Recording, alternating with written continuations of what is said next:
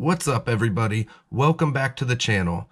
Today we're going to take a look at and do an opening on the Mudbug by Chasebaits.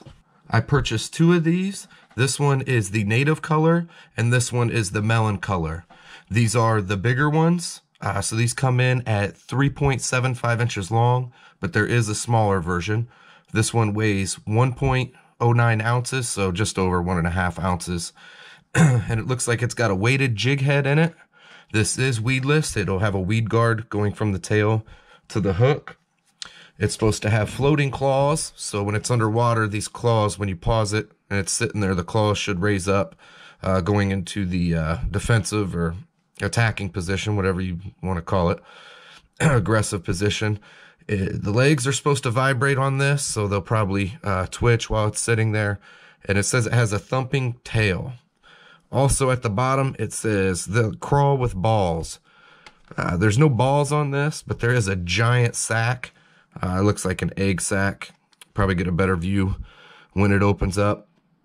Um, it says the Mudbug is created to be the most lifelike crawdad imitation possible, both in looks and action. The Mudbug can be fished in a number of ways. Let it sit on the bottom in the defensive position, dead stick, or slow crawl on your favorite structure. The Mudbug is an ultra realistic presentation too, is, too irresistible to refuse. Target species looks like it's going to be bass, cod, trout, pike, barramundi, saratoga, to name a few. Not sure what those last few fish are. um, and again, this is the melon color. Let's go ahead and open this up and take a look. Here, we're looking at the melon color. Uh, here is the weed guard uh, that keeps it weedless. The tail, uh, this must be the thumping tail. It actually looks like a defect um, right there, but it's not. The other one has it also. Uh, here's the big sack on the bottom. Uh, that's the weight, but it looks like an egg sack. I've never seen that on another crawfish lure. Um, nice color, nice orange tips on the claw. This is the melon color. The native color looks completely different than any of the native crayfish up here in northern Michigan. I've never seen a crayfish that resembles this one.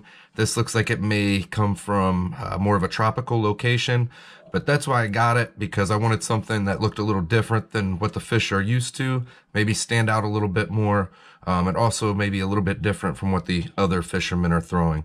But both the colors on these look nice, and I can't wait to get to throw them. The texture on the body feels very solid, tough, and durable. The antennas have a lot of stretch to them.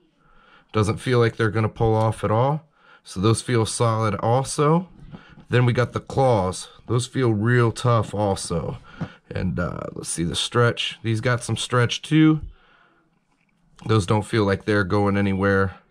The uh, legs, good stretch on those too. Doesn't feel like they're going anywhere. Um, the only thing I'm worried about on this, uh, that thumping tail, like I said, it looked like a defect uh, when I first opened it up, but they both have it. Uh, I'm not sure about that. We'll see how durable that tail ends up being. And then on the bottom, you have an open spot where the hook actually comes out and comes up through to the weed guard.